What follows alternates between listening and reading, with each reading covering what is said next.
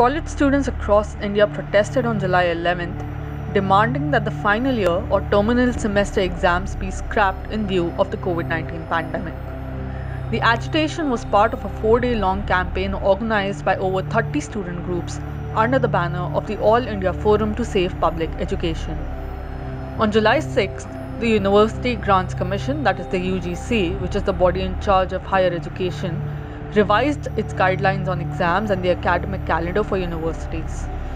The UGC made final year examinations compulsory and extended the examination period till the end of September.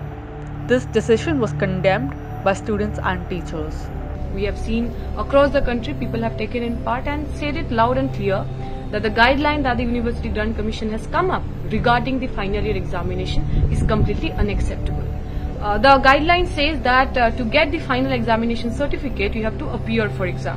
You're not going to be evaluated with your previous examination with your internal examination but a fresh examination has to happen. Let it be online let it be offline or a mixture of both of this. Now the primary contention that we have been raising for so many months now that an online examination an online mode of studying is not possible right now we have been spoken uh, in elaborately about the digital divide that is going to create. We have been saying that how digital infrastructure is not equally accessible to the people in our country and in a situation like that, in a situation of pandemic, in a situation of distress, we are going to come up with a digital um, mode of learning and online examination, it is going to be suicidal. The another thing that they're talking about that okay no problem if you do not want to give online examination let us have offline examination. Now how funny is that that the time when our country is actually standing on third in the whole world we are having the third largest population of people who are affected with covid.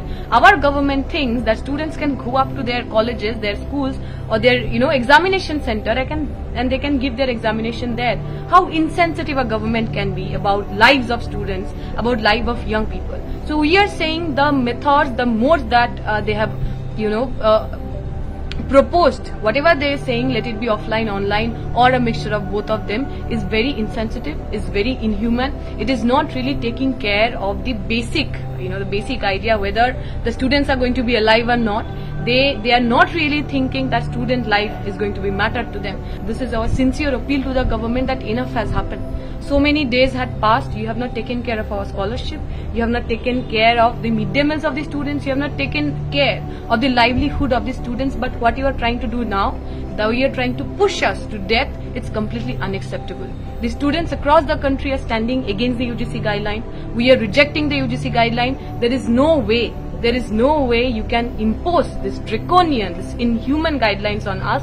And the students of India has proved it earlier and they're going to prove it again. The four day protest began on July 11th with students from various colleges of Delhi University gathering in front of the University Grants Commission office.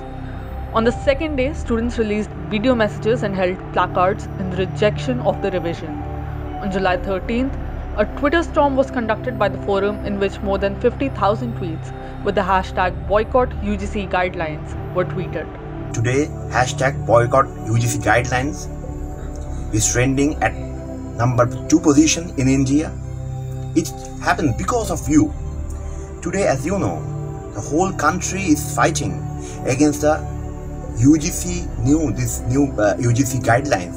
We believe this is a fascist fatwa. They are trying to destroy our thought process. They are trying to destroy our education system, and that is why for the last couple of days we're on the streets, we're on the, on the social media everywhere.